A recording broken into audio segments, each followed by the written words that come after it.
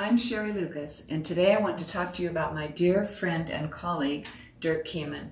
Over the last few years, I've gotten to know him really well. He's hosted several workshops and seminars for me in the last two years. In fact, I'm here in Germany right now with his dog Willow. And I wanted to say that Dirk is one of the most amazing people I know.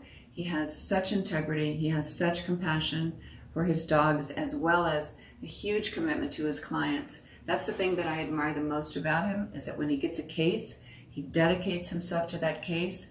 His all of his uh, philosophies and his techniques are humane and kind, compassionate, gentle, and fair. And that's something that I admire the most about him.